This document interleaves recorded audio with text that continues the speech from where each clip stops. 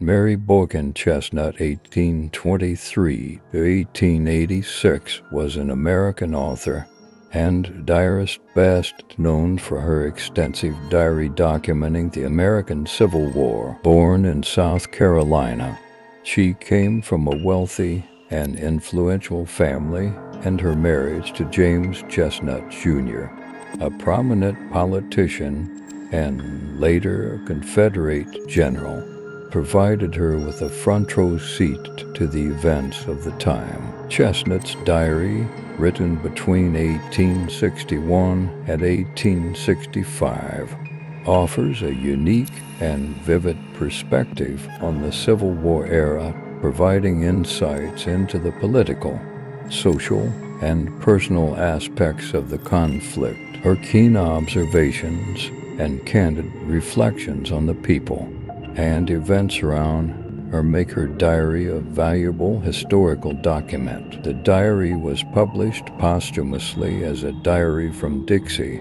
and has since become an important resource for historians studying the American Civil War.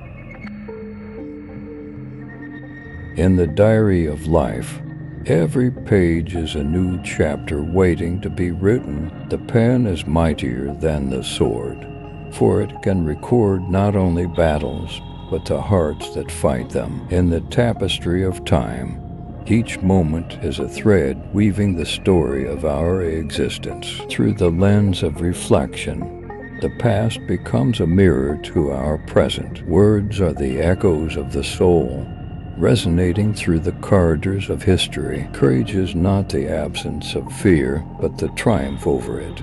Written in the annals of the brave, in the silence between words, the deepest emotions find their voice. The ink of understanding flows from the pen of empathy. Life's diary is written not only in words, but in the spaces between them. The heart's diary is written in the language of love, eternally spoken by the soul. History is a diary written by the victors and rewritten by the storytellers in the diary of the universe.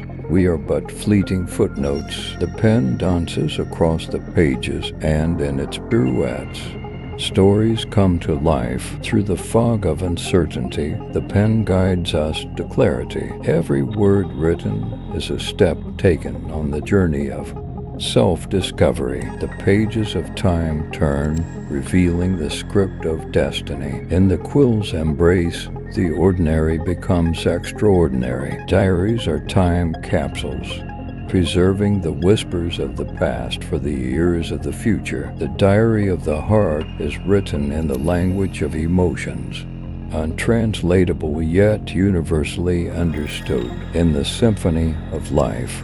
Each note is a reflection of our choices. The diary is a compass, guiding us through the labyrinth of experience. Memory is the ink that colors the canvas of our yesterdays. In the diary of dreams, we script the stories that reality dares not tell. The pen is a bridge connecting the present to the echoes of ages past. The pages of the diary unfold like petals revealing the bloom of our journey. Reflection is the ink that transforms the pages of the past into the canvas of wisdom. In the diary of the soul, each entry is a prayer whispered to the universe through the artistry of language.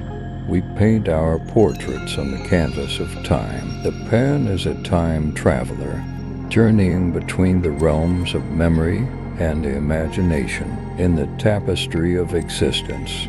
Every knot is a moment bound by the threads of destiny. Words are the breadcrumbs we leave behind.